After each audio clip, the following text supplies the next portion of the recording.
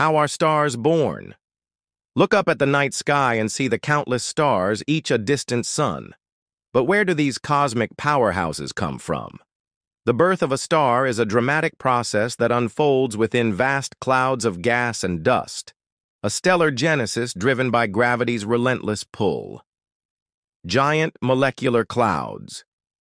Let's talk about the stellar nurseries. Stars are born within enormous, cold, and dense clouds of gas and dust known as giant molecular clouds. These clouds can span hundreds of light years and contain enough material to form millions of stars. The conditions within these clouds are crucial for stellar birth. The force of gravity. Now let's introduce the driving force, gravity. Within these vast molecular clouds, denser regions can collapse under their own gravity. This collapse can be triggered by various events, such as shock waves from nearby supernova explosions or collisions between clouds. Heating up the core. It's time to imagine the collapse. As a dense region begins to contract, the material at the center starts to heat up due to the increasing pressure. This hot, dense core is called a protostar, a baby star still gathering mass from its surroundings spinning disks, and jets. Let's consider the chaos of formation. As the protostar grows, the surrounding gas and dust form a spinning disk around it, much like water circling a drain.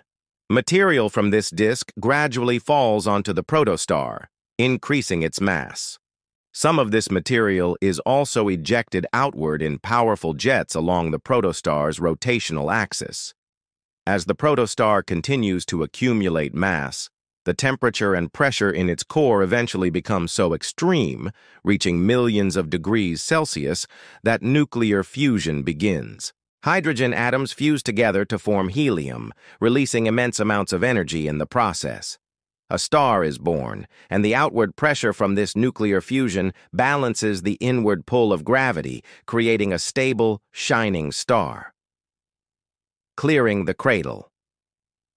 Let's talk about the final stages. The newborn star's powerful radiation and stellar winds eventually blow away the remaining gas and dust from its surroundings, clearing its birthplace and revealing the brilliant new star to the cosmos. So, stars are born from the gravitational collapse of dense regions within giant molecular clouds, a process that involves heating, spinning disks, powerful jets, and finally, the ignition of nuclear fusion in their cores.